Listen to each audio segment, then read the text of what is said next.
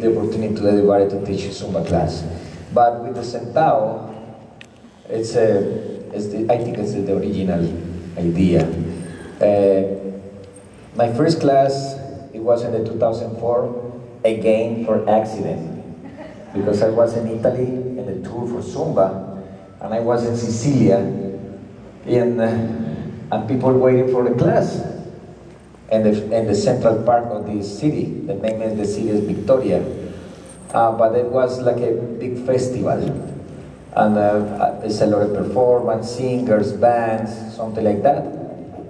And these people take me to this festival, and uh, people announced, somebody announced, ladies and gentlemen from Miami, Beto Perez for Zumba.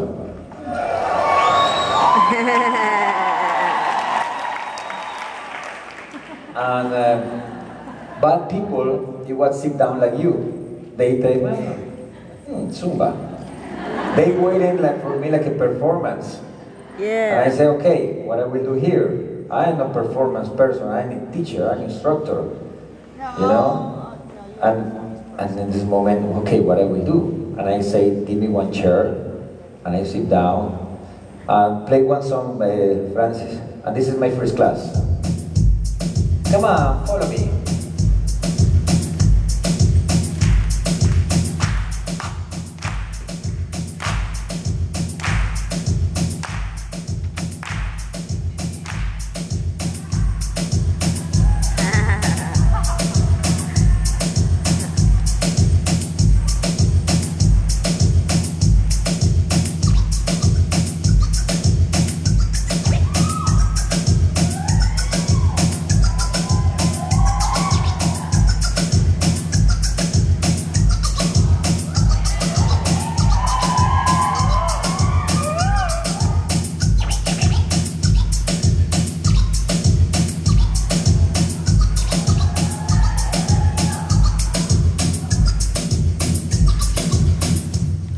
This is what I first